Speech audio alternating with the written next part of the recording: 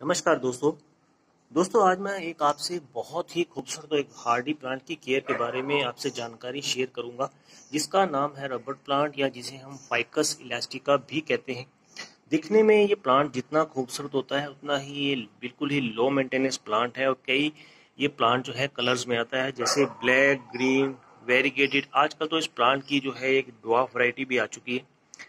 ये एक दोस्तों बेस्ट एयर प्यूरिफाई प्लांट है यदि आप चाहते हैं कोई ऐसा प्लांट हो जो स्टाइलिश हो हार्डी हो, कम मेंटेनेंस वाला हो तो ये प्लांट दोस्तों आपके लिए परफेक्ट है और जो न्यू गार्डनर है, जिन्होंने गार्डनिंग अभी शुरू की है, वो दोस्तों इस प्लांट को लगा सकते हैं क्योंकि ये बिल्कुल ही लो मेंटेनेंस प्लांट है। बहुत ही आसानी से प्लांट जो है ग्रो हो जाता है।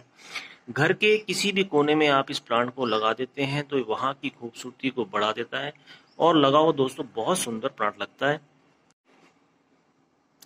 इस प्लांट को दोस्तों आप जब भी लेके आते हैं तो सबसे पहले तो इसी प्लांट को एक वेल ड्रेन सॉइल मिक्सचर दे, जिसमें एक हिस्सा मिट्टी, एक हिस्सा खाद और एक हिस्सा रेत हो। इसमें दोस्तों प्लांट बहुत ही अच्छा ग्रो करेगा। ऐसा मिक्सचर जिसमें पानी बिल्कुल भी नहीं रुकेगा और आपका प्लांट बहुत हेल्दी से जो है ग्रो करता रहेगा। इस प्लांट को पानी पसंद है, लेकिन ओवर वाटरिंग जो है इस प्लांट को बिल्कुल भी पसंद नहीं है। तो पानी आप इस प्लांट को तभी दें जब इस प्लांट की जो मिट्टी है वो पूरी तरह से ड्राई हो जाए।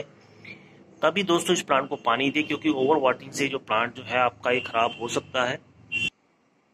इस प्लांट को जो है, इसकी खूबसूरत सी लीव्स के कारण लगाया जाता है।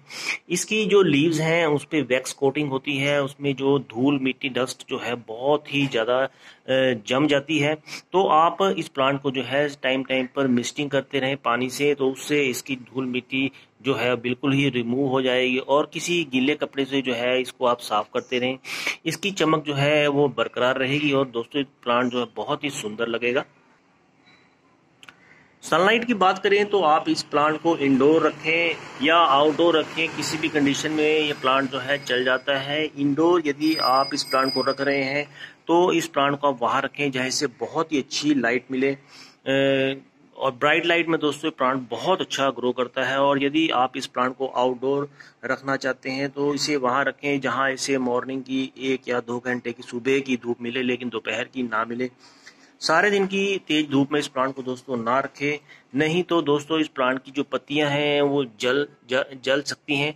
जैसे देखिए दोस्तों, मैंने इस प्लांट को जो है एक दिन की धूप में लिए रख दिया था क्योंकि बरसात का सीज़न था। उसमें इसकी जो पत्ती है, वो बर्न हो गई है। तो दोस्तों, इस प्लांट को आप या तो ब्राइट लाइट में रखें या इसे ऐसी जगह रखें, ऐसे मॉर्निंग या मॉर्निंग की एक या दो घंटे की धूप मिले, वहाँ प्लांट बहुत अच्छा ग्रो करेगा। इसकी लीव जो है बहुत ही चमकदार होंगी और बहुत अच्छा ये प्लांट जो है आपका ग्रो करता रहेगा। अब बात करते हैं दोस्तों, इस प्लांट के फर्टिलाइज़र की। फर्टिलाइज़र दोस्तों, इस प्लांट को आप दो महीने में एक बार जो है 200 ग्राम के करीब या दो मुट्ठी गोबर की खाद दें। गोबर की खाद दोस्तों, इस प्लांट के लिए बहुत ही बेनिफिशियल होती है। मैंने अपने दोस्तों मोस्टली सभी जो प्लांट हैं, वो गोबर की खाद में जो है, वो ग्रो किए हुए हैं। ये देख सकते हैं दोस्तों, मेरे इस प्लांट में भी गोबर की खाद पड़ी हुई है।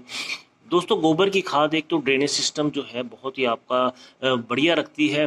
पानी इसमें बिल्कुल भी नहीं रुकता और नमी बनाकर रखती है। दूसरा, ये दोस्तों, इसमें सभी प्रकार के माइक्रो न्यूट्रेंट्स होते हैं जो आपके प्लांट्स को हेल्दी रखने के लिए बहुत ही लाभदायक होते हैं।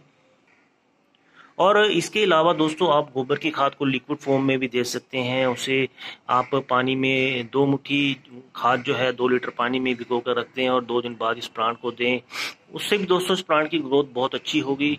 और आप अपने जितने भी आपके इंडोर प्लांट्स हैं आप उनको महीने में एक बार जो है 19 19 19 एनपीके का जो है स्प्रे करें। वो भी दोस्तों आप एक लीटर पानी में एक चम्मच घोलकर अपने सभी जितने भी आपके इंडोर प्लांट्स हैं, उनमें स्प्रे करें, उनसे ग्रोथ उनकी दोस्तों बहुत अच्छी होगी। अब बात करते हैं इस प्लांट की प्रोपोगेशन की। इस प्लांट की प्रोपोगेशन बहुत ही आसान है। इस प्लांट को जब ग्रोइंग सीज़न होता है, यानी मानसून सीज़न और स्प्रिंग सीज़न में, तब आप इस प्लांट की जो है, छोटी सी छोटी स्टैम्प कटिंग भी तोड़कर लगा सकते हैं। किसी भी सॉइल मिक्सचर में वो बहुत ही आसानी से जो है, वो चल जाती है। आप दोस्तों जब भी इस प्लांट को लगाएँ तो आपको काफ़ी पेशेंस रखना पड़ेगा, क्योंकि इस प्लांट की जो ग्रोथ है बहुत ही स्लो होती है। दोस्तों, मेरे इस प्लांट को लिए हुए मुझे छः से सात महीने हो चुके हैं। इन महीनों में दोस्तों, इस प्लांट की ग्रोथ आपको दिखाता हूँ। दोस्तों, सिर्फ़ इतनी ही इस प्लांट की जो है वो ग्रोथ हुई है छः महीने के अंदर। तो दोस्तों, बहुत ही जो है स्लो ग्रोइंग प्लांट है। लेकिन दोस्तों, बहुत ही प्लांट जो है खूबसूरत लगता है। आपके घर के किसी भी कोने में इस प्लांट को लगा दें तो बहुत ही सुंदर लगेगा। तो दोस्तों, यदि आप भी इस प्लांट को लाते हैं तो इस प्लांट को जो मैंने आपको टिप्स दिए हैं, उनको आप फॉलो कीजिए। उनसे आपके प्लांट की जो ग्रोथ है, बहुत ही अच्छी होगी। यानी सबसे पहले तो इसे वेल ड्रेन सॉइल मिक्सचर दीजिए और उसके बाद आप दो महीने में एक बार जो है इसमें गोबर की खाद डालिए। 200 ग्राम और उसके बाद दोस्तों आप इसे या तो ब्राइट हाइट में रखिए या अगर आप इसे आउटडोर रख रहे हैं तो वहाँ रखें जहाँ से एक या दो घंटे की धूप मिले। वहाँ प्लांट आपका बहुत अच्छी तरह जो है वो ग्रो करेगा। उसके अलावा आप महीने में एक बार अपने सभी इंडोर्स जो आपके प्लांट्स हैं, उनमें आप एन का स्प्रे करें। उनसे दोस्तों आपके प्लांट की जो है ग्रोथ बहुत ही शानदार होगी। दोस्तों, इस प्लांट की एक खासियत है, ये प्लांट जो है एकदम सीधा ग्रोथ करता रहेगा। जब तक आप इस प्लांट की कटिंग नहीं करेंगे, अपनी मल्टीपल प्लांट जो है नहीं निकालेगा।